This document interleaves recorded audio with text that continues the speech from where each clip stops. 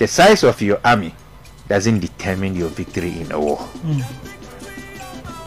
It is about how strategic you are. And we have put in place. So you can have an AK 47, but somebody with a single barrel, what they call tia buffer, what the hunters use, can just gun you down. Holding a rifle doesn't make you uh, uh, powerful. Your ability to hit the target is what is important. And that is what we are doing here. And we send a signal to the NPP that if they think that they can intimidate, if they think that they can bully, if they think that they have what to manipulate the elections, then they should be prepared. And let me state again that if they want to go by putting aside the laws of this country simply because they want to make a comedian a president just to protect uh, Nana Addo's uh, bad legacy, then we will all put the law aside, destroy this nation, destroy the law, and when we are done, we will come and build it. again.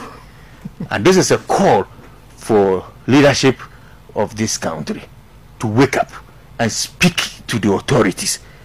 Let them understand that there was once a president who handed over power peacefully when he lost the elections. Incumbency doesn't determine your stay in government. It is the people who decide whether you you deserve to be in government or you don't deserve to be in government. So we are prepared. I'm telling you that we are prepared. We are prepared physically.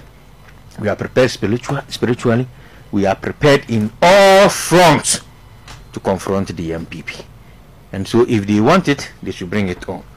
If they are prepared to steal this election, my brother, I'm telling you, we will also steal. Whatever they intend doing, we will do same. And so we will all go into this election and decide how this election is going to be like. But let me say this. I rather read the document of Japan, hmm. and I stated earlier that for the first time we have two Northerners being on the ballot, and one Northerner will emerge victorious. And I know His Excellency John Dramani Mahama will be the person.